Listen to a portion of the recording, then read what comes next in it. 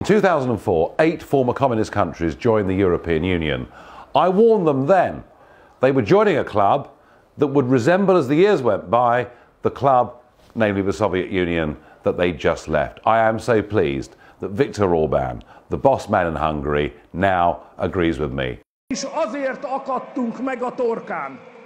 Azért tört belénk a foga, mert ragaszkodtunk nemzeti eszméinkhez, hatjuk el most, hogy a mi közös otthonunkat, az Európai Uniót modern kori birodalommá alakítsák.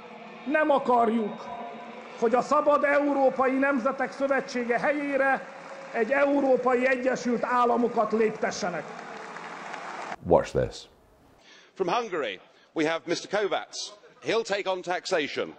For many years, a communist apparatchik, a friend of Mr. Kadar, the dictator there, and an outspoken opponent of the values that we hold dear in the West.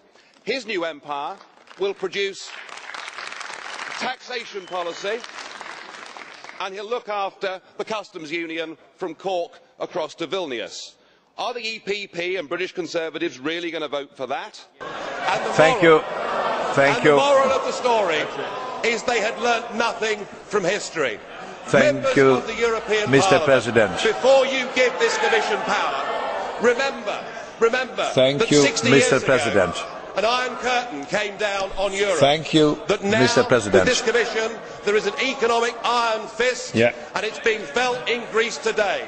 You're going to meet lots of communists over the next six months, including the boss of the Commission here, old Barroso, who was an advocate of Chairman Mao.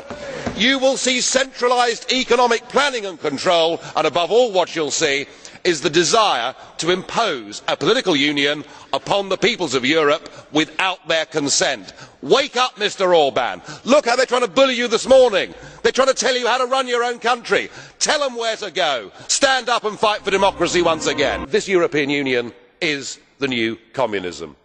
It is power without limits.